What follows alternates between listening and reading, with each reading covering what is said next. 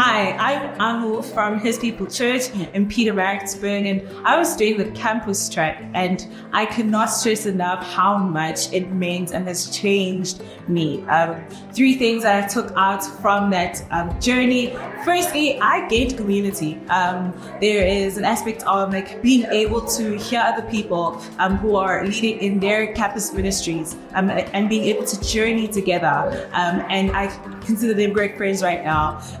Secondly, one of the things that I gained from there was gaining practical tools of being able to minister to the mission field. Um, and not just that, but being able to understand any field that I'd be able to go, that I'd be sent to um, and ministering into those spaces. Um, I'm on campus and this is a space that is continuously changing. The culture keeps changing and I need to be equipped on being able to keep up with the change and understanding the change that, that each um, year student comes comes with. And so um, for me, campus finish, um, the campus track has been helpful in really just giving me the right tools to be able to do that. Um, and then lastly, um, I, I, really believe that God used um, this track to really reveal the things in my heart that um, I had raised up um, as higher than God and what He had called me to do.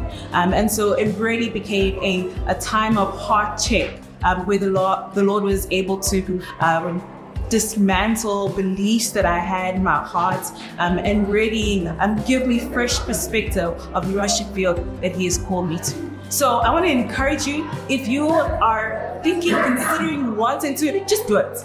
Um, it is going to be so beneficial for your ministry. Bye.